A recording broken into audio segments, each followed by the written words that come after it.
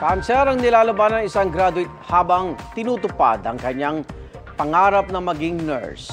Sa kabila po ng sakit at sa gitna ng suporta at pananampalataya, nakamit niya ang Success! Schoolmates since high school at nagka-crush sa isa't isa dahil sa kanya-kanyang talento. Si Shara Baang, nagpapiano. Si Ariel Win Sabino, kumakanta naman.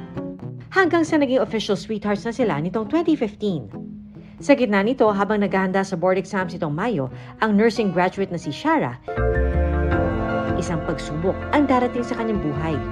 Noon niya na lamang meron siyang papillary thyroid cancer. Hindi ko po alam yung reaction ko kasi mas umiyak po yung parents ko.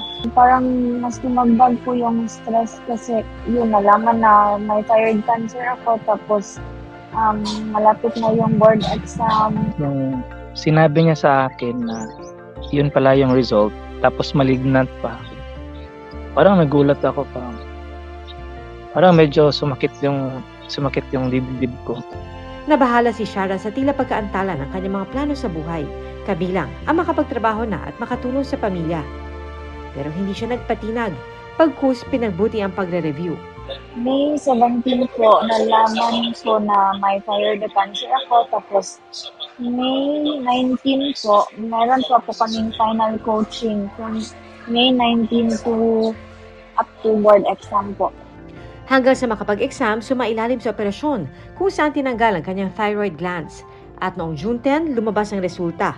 Pasado siya sa board exam at isinangayong registered nurse. Sobrang sobrang proud ko na kahit may sakit siya, alam kong masyado siyang stress, masyado siyang bothered, pero nagawa nagawa niya pa rin pumasa. Nung nabasa ko po yung mga comments na uh, God is really good despite sa mga challenges, mga problems, kahit uh, may sakit po na nakaya ko po na pumasa.